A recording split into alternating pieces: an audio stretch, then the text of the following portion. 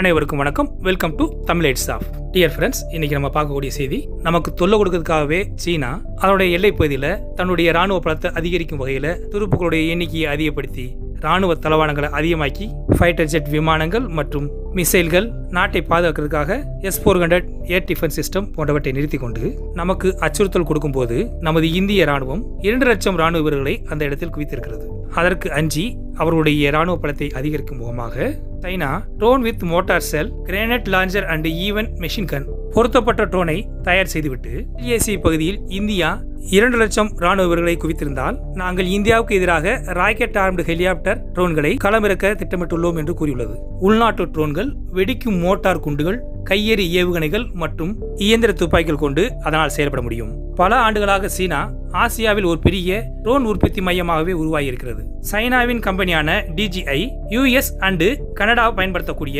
Eighty percentage ட்ரோன்களை உற்பத்தி செய்கிறது. டூ தௌசண்ட் எயிட்டீனில் குவாங்டாங்கை தளமாக கொண்ட ஹுவாய் சியான் யுஏவி கம்பெனி தனது அது இன்டெலிஜென்ட் திறமையுடன் அட்டாக் டெக்னாலஜியை உருவாக்கியுள்ளது. இதன் மூலமாக சுமார் டென் அன்மேண்டு ஹெலிகாப்டர் ட்ரோன்ஸ்கள் உருவாக்கிய பின்பு அது தாக்குதல் நடத்துவதற்கு எல்லா நடவடிக்கைகளையும் சிங்கிள் பட்டன் மூலமாய் அதை செயல்படுத்த முடியும் என அந்த நிறுவனத்துடைய செய்தி தொடர்பாளர் குளோபல் டைம்ஸுக்கு தெரிவித்திருக்கிறார். Drone scan take off separately அதாவது ட்ரோன்கள் தனித்தனியாக புறப்படும். அவைகள் ஒன்றுக்கொன்று மோதாமல் அதற்கு நியமிக்கப்பட்டுள்ள டார்கெட்டுகளை அடைந்து அதனால் தாக்கி அளிக்க முடியும். ட்ரோன்கள் தாக்குவதற்கான கமெண்ட்ஸை பெறும்போது அது விரைவாகவும் இண்டிபெண்டாகவும் ஆனாலும் ஒருங்கிணைந்த முறையில் அதனால் அட்டாக் செய்துவிட்டு யூஏவிக்கள் சிஸ்டம் வழியாக மீண்டும் புறப்பட்ட தளத்திற்கு சேஃப்டியா லேண்ட் ஆயிடும். இந்த ட்ரோன்கள் அட்டானமஸ் அண்டு கண்ட்ரோல் ரிமோட் மூலமாக தொலைதூரத்திலும் இதை கட்டுப்படுத்த முடிகிறது. இதுல டோட்டலா டென் ட்ரோன்ஸ்களை கலவை முறையில பொருத்தி அதாவது அருகில் வெடிக்கக்கூடிய மோட்டார் குண்டுகள் கிரானைட் லான்சர்ஸ் அது மட்டுமன்றி some drones can also conduct suicide mission அதாவது தற்கொலை பணியையும் செய்யும். ஏப்ரல் டூ தௌசண்ட் நைன்டீனில் துருக்கியில் நடைபெற்ற ஐடிஇஎஃப் நைன்டீன் எக்ஸ் எக்ஸிபிஷனில் குவாய்ச்சியான் முதன் முதலில் அன்வைல்டு இட்ஸ் டெக்னாலஜியை வெளியிட்டிருக்கிறது. பல ஆண்டுகளாக கம்பெனி பல டிஃபரண்டான ஆர்ம்டு மினி ட்ரோன்ஸ்களை உருவாக்கி இருக்கிறது டூ தௌசண்ட் எயிட்டீனில் அதனுடைய பிலோபிஸ் ஏ டூவை கண்காட்சியில் வைத்தது. அது சிக்ஸ் ஃபீட் லென்த்தும் டூ ஃபீட் ஹைட்டை உடைய blowfish A two hundred and thirty kilometre ஸ்பீட்ல அது பறக்கக்கூடிய திறமையுடையதாக இருந்தது. மேலும் இது சிக்ஸ்டி மில்லிமீட்டர் மோட்டார் சீல்ஸ்கள் ஆர் ஃபார்ட்டி மில்லிமீட்டர் கிரேனேட் லான்ச்சரையும் பொருத்தப்பட்டிருக்கும். மேலும் இந்த கம்பெனி பிலோபிஸ் ஏ த்ரீயை உருவாக்கி வர்றாங்க என ஒரு செப்பரேட் ஸ்டேட்மெண்ட்ல அந்த கம்பெனி அதன் smaller size and large weight drone காரணமாக பிலோபிஸ் ஏ டூ போன்ற ட்ரோன்களின் அடிப்படையில் காம்பட் யூனிட்ஸ்களை வடிவமைக்க பயன்படுத்தப்படலாம். குறிப்பா ஸ்பை அண்ட் அட்டாக்காக இந்த நிறுவனம் சொன்னபடி ஹெலிகாப்டர் ட்ரோன்கள் பொதுவாக பயன்படுத்தலாம். மேலும் ஒரு பிக்ஸ்டு விங் ட்ரோன்களை காட்டிலும் இது பெட்டராக பறக்கும் திறனை பெற்றிருக்கிறது. மேலும் இதனை கப்பலில் கூட திறன்பட பயன்படுத்தலாம். லாஸ்ட் இயர் இந்தியா சைனாவுக்கு இடையே ஏற்பட்ட டென்ஷனுக்கு மத்தியில் it's ARC five hundred C helicopter ட்ரோன்களை develop பண்ணி வெளியிட்டிருக்காங்க. என்று தி எக்கனாமிக்ஸ் டைம்ஸ் செய்தி வெளியிட்டிருக்காங்க. இந்த ட்ரோனை சீனாவின் அரசுக்கு சொந்தமான aviation industries corporation of China தயாரித்திருக்கிறது. மற்றும் அது உயரமுள்ள நிலப்பரப்புகளில் கம்யூனிகேஷன்களை இணைத்துக் கொள்ளும் திறனையும் பெற்றிருக்கிறது. ஹெலிகாப்டர் ட்ரோன் ஃபைவ் தௌசண்ட் மீட்டரில் டேக் அப் ஆகி அதிகபட்சமாக hundred and seventy kilometre maximum speedo இதனால பறக்க முடியும். இது ஃபைவ் ஹண்ட்ரட் கிலோ வெயிட்டையும் தூக்கி சுமக்கூடிய திறமையுடையதாக இருக்கிறது. இவ்வாறாக தயாரித்து சீனா தனது பாடர் ஸ்டாண்டுகளை மேம்படுத்தி வருகிறது என்று நிபுணர்கள் கூறுகிறார்கள். Peace and conflict research institute ஆராய்ச்சியாளரான Abhijit Iyer Mitra பிபிசியில் சீனா தன் கட்டுப்பாட்டில் வைத்துள்ள எல்ஐசியில் நெட்வொர்க் ரோடு அமைப்பது மட்டுமல்லாமல் அதனுடைய முழு எல்லையையும் ஏர் ஸ்டிஃப்களுடன் கனெக்ட் பண்ணும் ஒர்க்குகளை செய்து வருகிறது என்று கூறியிருக்கிறார். தன்னுடைய மிலிட்டரி பவரை பெருக்கிக் கொள்வதற்காக ஒவ்வொரு டூ ஹண்ட்ரட் கிலோமீட்டருக்கும்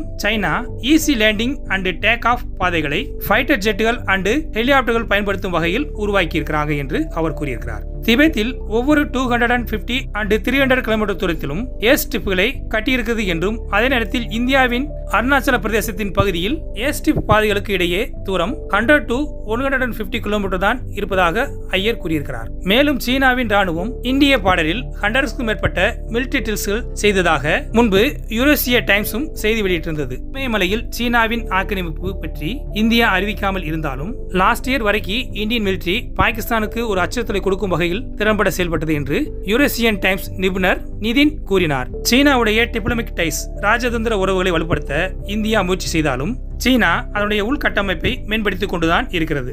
இப்போ இந்த வீடியோ பார்த்துட்டு இருக்கும்போதே ஒரு லைக் ஒன்று கொடுத்துருங்க. இந்த சேனலை இப்போ தான் முதல் முறையாக பார்க்குறீங்கன்னா கீழே இருக்கிற சப்ஸ்கிரைப் பட்டனை கிளிக் பண்ணுங்க. பெல் நோட்டிஃபிகேஷனையும் எனபிள் பண்ணிக்கங்க. அப்போ தான் நம்ம இந்த சேனல் மூலமாக அப்டேட் பண்ணக்கூடிய எல்லா விஷயங்களும் உடனுக்குடனே உங்களுக்கு வந்து தெரியும். நீங்களும் அதை பார்த்து பயன்பெற முடியும்.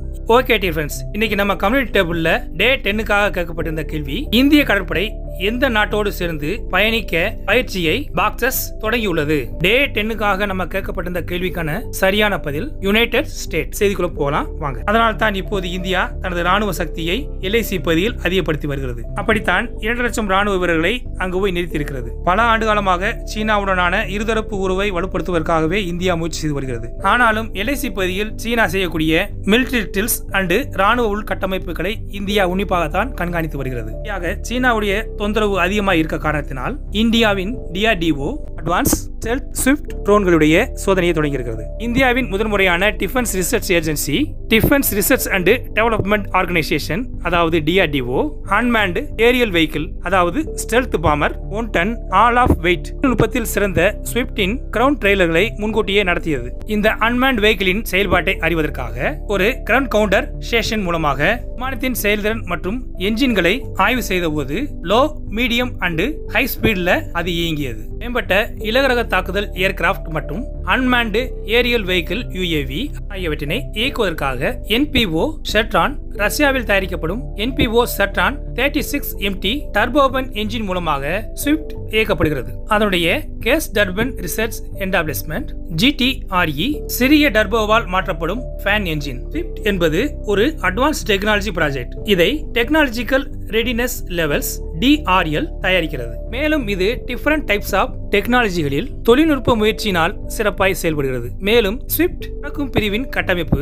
flying control autonomous take off and landing technology control குறித்த டேட்டாக்களை கலெக்ட் பண்ணி மீண்டும் தரையிறங்க landing gear system low radar signature and flying wings design வடிவமைப்பு டேட்டா ஆஃப் ஏர்கிராஃப்ட் ஃபர்தர் இன்ஃபர்மேஷனுக்காக பயன்படுத்தப்படும் இதன் specification wing ஸ்பேன்கள் five metre long length four metre லாங்கும் கொண்டதாக இருக்கிறது. Unmanned வெஹிக்கிளின் overall weight one thousand fifty kilo எடையாகவும் இதனுடைய commanding range two hundred kilometre தொலைவுடையதாகவும் மேலும் swift சரியாக sea லெவலிலிருந்து six thousand metre ஹைட்டாகவும் ஒரு மணி நேரம் தொடர்ந்து பறக்கும் தன்மை உடையதாக இது வடிவமைக்கப்பட்டிருக்கிறது. இதன் சரிபார்க்கப்பட்ட டெக்னாலஜி இந்தியாவின் attack bomber stealth flying wing combat ட்ரோனில் இது செயல்படும். அன்மேண்டு விங்மேன் பாமர் திட்டத்தின் ஒரு பகுதியாக ஸ்விஃப்ட் தனித்தனியாக புரொடக்ஷனுக்காக அனுப்பப்படும். தபாஸ் மற்றும் ஸ்விஃப்ட் யூஏவிகளுக்காக டிஆர்டிஓவின் லேண்டிங் கியர் சிஸ்டமானது இந்த ஆண்டின் தொடக்கத்தில் DRDO two different classes of unmanned aerial vehicles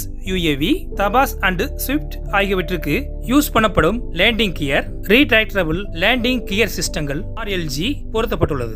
டிஆர்டிஓவின் combat vehicle research and development establishment CVR DE laboratory இந்த சிஸ்டங்களை டெவலப் பண்ணி டெவலப்பான சிஸ்டமா உருவாக்கி இருக்கிறது அவைகளை பெங்களூரில் உள்ள ஏரோநாட்டிக்கல் டெவலப்மெண்ட் என்டாப்ளிஸ்மெண்ட்டுக்கு டிஇக்கு கொடுக்கப்பட்டுள்ளது. லேபரேட்டரி தபாஸ் யூஏவிக்கு டி ஆர்எல்ஜி சிஸ்டம் யூஏவிக்கு ஒன் டி ஆர்எல்ஜி இந்திய டெக்னாலஜி ஆதரவோடு இது தயாரிக்கப்பட்டிருக்கிறது. மற்றும் military airworthiness and certificate of centre டிஇஎம்ஐ எல்ஏசி செமிலக் இயக்குநரகம் டிஜிஏக்யூஏ ஆகியவற்றின் சரியான ஆய்வு மற்றும் சான்றிதழ் பெற்ற பின்பு இப்படி முறைப்படி ராணுவத்துக்கு வழங்குவதற்காக நமது டிஆர்டிஓ அட்வான்ஸ் ஸ்டெல்த் ஸ்விஃப்ட் ட்ரோனை அதாவது ஸ்டெல்த் ஃபார்மரை சோதனை செய்ய தொடங்கியிருக்காங்க. ஓகே டி ஃப்ரெண்ட்ஸ் இன்னைக்கு நம்முடைய எல்லையில ரெண்டு லட்சம் ராணுவ சிங்கங்களை நிறுத்திருக்கோம் அதை எதிர்கொள்ள முடியாம சைனா அதிநவீன யூஏவிகளை நிறுத்தி தொந்தரவு செஞ்சு வரதுனால நம்ம டிஆர்டிஓ தக்க பதிலடி கொடுக்க அதிரடியான முயற்சிகளை எடுத்து வராங்க. அது பற்றிய தங்களுடைய கருத்துக்களை கமெண்ட் பாக்ஸ்ல பதிவு செய்யுங்க. ஓகே ஃப்ரெண்ட்ஸ் நம்ம சேனலை சப்ஸ்கிரைப் பண்ணுங்க லைக் பண்ணுங்க இந்த வீடியோ உங்களுக்கு பிடிச்சிருந்துச்சுன்னா உங்க ஃப்ரெண்ட்ஸுகளுக்கும் ஷேர் பண்ணுங்க. உங்க கருத்தை கமெண்ட் பாக்ஸ்ல தெரிவிங்க. ஜெய் ஹிந்த். இதே மாதிரி செய்தியோட நாளைக்கு சந்திப்போம். நம்ம சேனலை சப்ஸ்கிரைப் பண்ணுங்க லைக் பண்ணுங்க ஷேர் பண்ணுங்க உங்க கருத்தை கமெண்ட் பாக்ஸ்ல தெரிவிங்க. நன்றி வணக்கம். நீங்கள் எங்கே போனாலும் முகக்கவசத்தை போட்டு போங்க. கவர்மெண்ட் சொன்ன வழிமுறைகளை நம்ம பின்பற்றி இந்த கொரோனாவிலேருந்து நம்ம ஜெயிப்போம் பாதுகாப்போம். சரி ஓகே நம்பா